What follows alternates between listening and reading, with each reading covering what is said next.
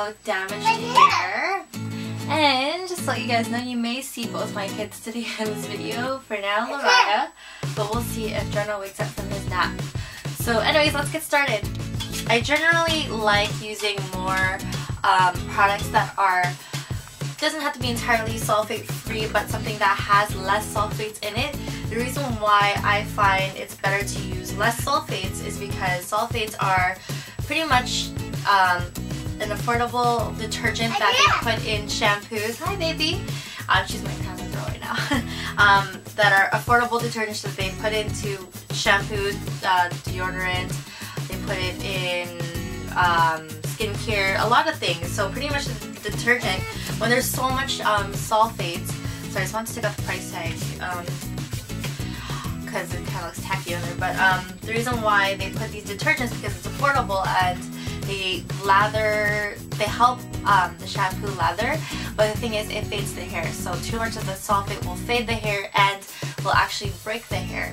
So you might see like a nice good shampoo from the drugstore that's really cheap, but um, in the end because there's so much sulfate, it actually breaks the hair and it actually um, fades the hair. So just remember that. So the less sulfate the better or if you can't sulfate, sulf sulfate free that's even better too. Also uh, this one has quinoa in it.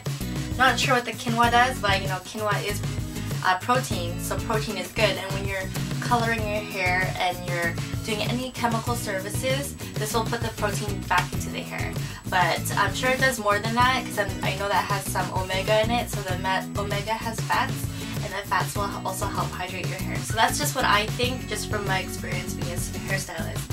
So that's number one. Number one on my list uh, for products, uh, shampoo. So I recommend every two to three months, I recommend for my clients to trim their hair. And it doesn't have to be a huge trim, it doesn't have to be an actual haircut. Um, generally, the lingo for hairstylists is dusting. So dusting is pretty much cutting even just like a millimeter, two millimeters, even, you know, just like a quarter of an inch off your hair. It doesn't have to be a huge haircut. Actually, a little goes a long way. So I always tell them less is more um, every two to three months. That way, uh, you're cutting less, but you're actually um, you're actually gaining um, more healthy hair rather than growing out stringy uh, split ends, if that makes any sense. When I'm doing colors for my clients, I always recommend a home care product. I never let them leave my chair without using a home care product if they're not, especially if they're not getting a trim. So you can't expect your hair, if you're coming from, uh, you know, black hair and you're going to a beach blonde hair, you can't expect for your hair to stay healthy on its own. You're gonna have to help your hair and nourish your hair. So I like using, because my hair is pretty light, um, my hair is naturally dark brown. Um, I use the macadamia um, natural oil mask. I got it for $27 at the salon. It may sound like a lot. You might even find it a lot more cheaper at another salon, but I got for $27. It actually went up um, where I got it. But pretty much, uh, you, you only use it once to twice a week and you leave it in your hair for 7 minutes after you shampoo your hair. And I love this product just because it's very rich and very concentrated, so it's very thick. So if I turn upside down, it's not leaving the jar.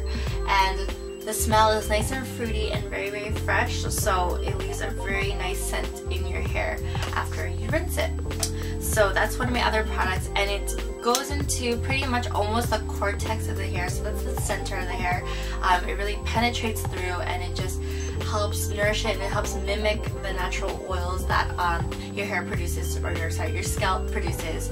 Um, Another thing I liked about this, it was filled with omega-3, 5, and 7. So again, good fatty, um, good fatty acids that are great for the hair and help nourish it and then just put the protein back that your hair has lost. On, um, the first thing I ask my client if they are wanting a color, what is your hair history? The reason why I ask this is because a lot of people use box dye. Um, they are getting smarter with the box dye nowadays. Like they're, uh, they have less um, ammonia and less chemicals, which is great. But after they get their color, I always recommend home care.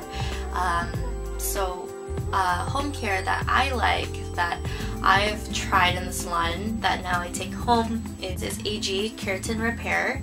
And pretty much keratin is uh, protein that your hair loses while you're lifting the hair. So pretty much if you're coming from dark black hair to like a, um, like a light medium blonde um, you want to make sure you're using products to put those nutrients back into the hair.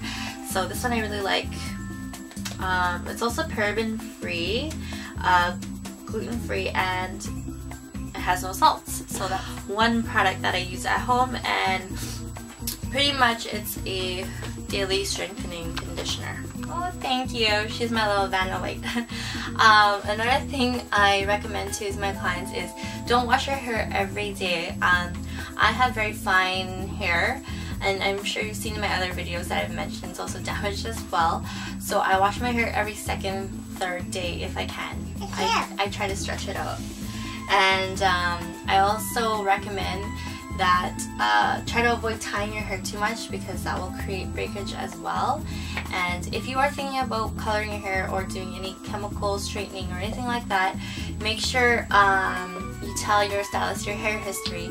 That way you can avoid more damage. And some people, um, their hair is not meant to be uh, chemically straightened or you know, colored. So just make sure you tell your stylist your hair history and you show them your how your real hair texture is um, when you're sitting at the chair. These um, tips help you out. If uh, you want to see more videos like this, please comment below and I'll be sure to get to them as soon as I can. And also don't forget to like and subscribe and um, and if you like these tips and tricks, please let me know. I'd love to hear your feedback and tag me on Instagram. Um, my Instagram is my name, Reeva Jazzel. And hi, And once you tag them, I will check them out and I might even feature them in my next video because I love showing, you know, great results and happy clients and happy people. So please let me know how that goes and we'll see you next time. Bye. Bye guys.